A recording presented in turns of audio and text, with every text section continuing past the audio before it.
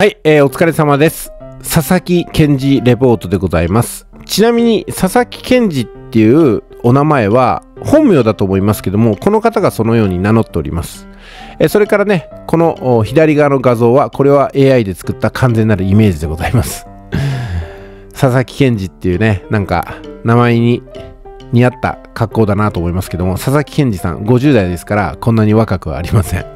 私も姿は見たことないんですよ。はい、それでね、右側のレポートが寄せられてますので、読みながらいろいろと考えていこうと思います。えー、件名、久保先生ご報告です。ということでメールをいただきました。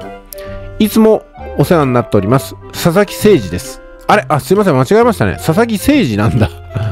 すいません。まあいいや。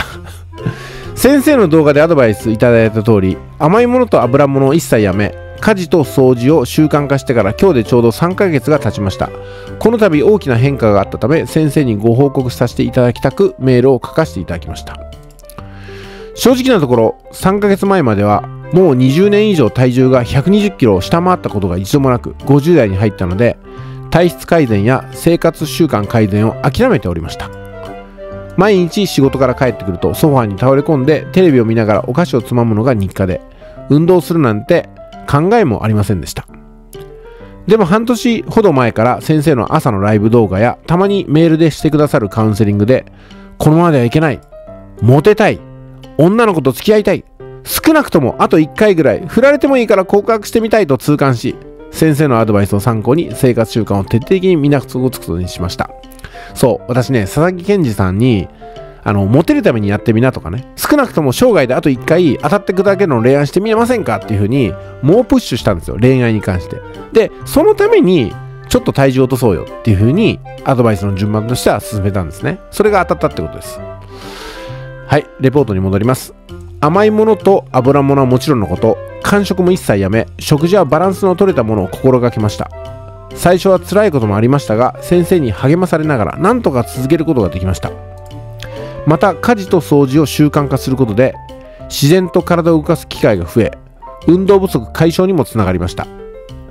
最初は腰が痛くて大変でしたが今では掃除を毎日するのが日課になっています。そして何よりも驚いたのは体重が9 5キロまで減ったことです。20年以上も抱えていた120キロという数字から解放され信じられない気持ちです。見た目の変化はもちろん以前はちょっと動くとすぐに息切れしていたのですがそれが嘘のように今では階段も楽に早足で上り下りできるようになりました。さらに睡眠の質も格段に向上しました。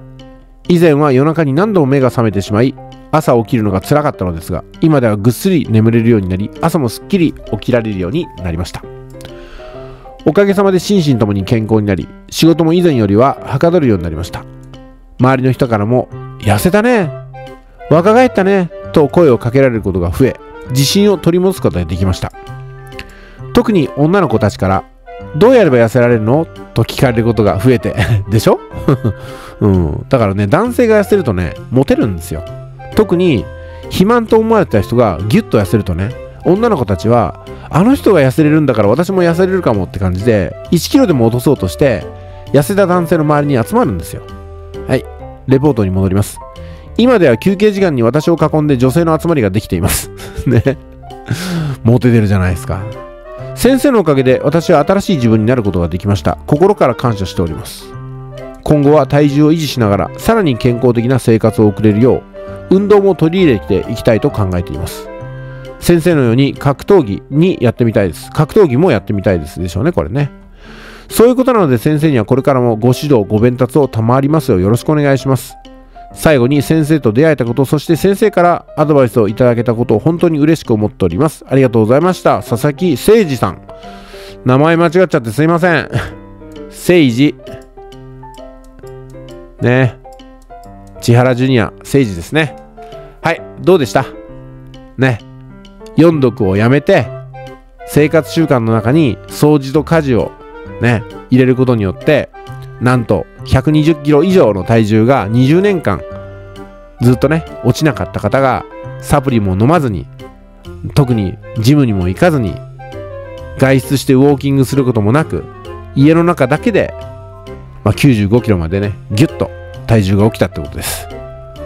まあ、私も別に動画で勝手なこと喋ってただけなんで何かをしてあげたっていう気持ちにはならないんですけども一度も会ったことがない方がねこのように結果を出して一度も会ったことがない私にもうここまでの感謝をしてくださったことまさにインターネットの奇跡じゃないかなと思ってますね。それでは今回以上です。